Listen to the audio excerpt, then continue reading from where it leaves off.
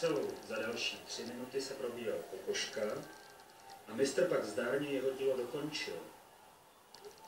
1-0. V 16. minutě prokázal svou skvělou kopací techniku domácí kapitán Kabel, ovšem bez gólového efektu. Hosté si vypracovali největší šanci po Rusnákově rohu, Krbeček však Rosmanovu hlavičku zlikvidoval. Po změně stranu fauloval takto Kraut Fialu a z nařízené penalty pečetil výsledek Kabel, Vítkovice 2-0.